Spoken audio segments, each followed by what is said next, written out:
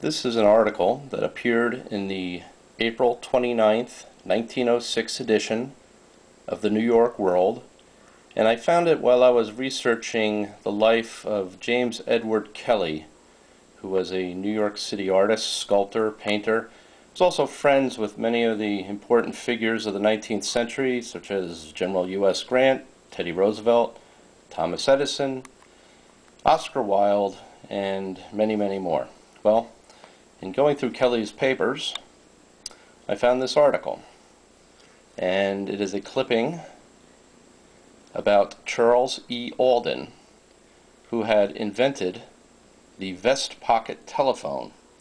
That is a precursor of the modern cell phone. It became popular a hundred years later.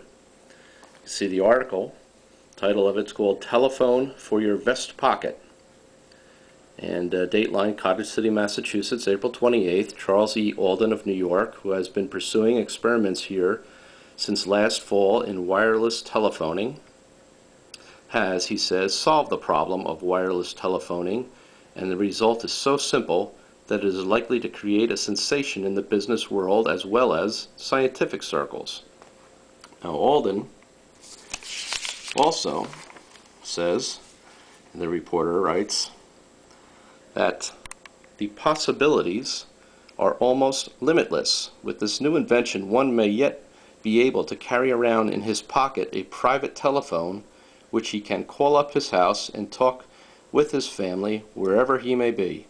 Persons sitting in the grandstand at a racetrack may telephone to their friends in the city the results of the races undetected. So it sort of had a uh, other motive for inventing this wireless telephone? Well, here's to Charles E. Alden, a man with vision and foresight, who foresaw the modern cell phone, which today it seems we can't live without. Little is known about Charles Alden. Uh, as far as I can figure, he gets no recognition, and few people today has ever have ever even heard of him and his telephone for your vest pocket.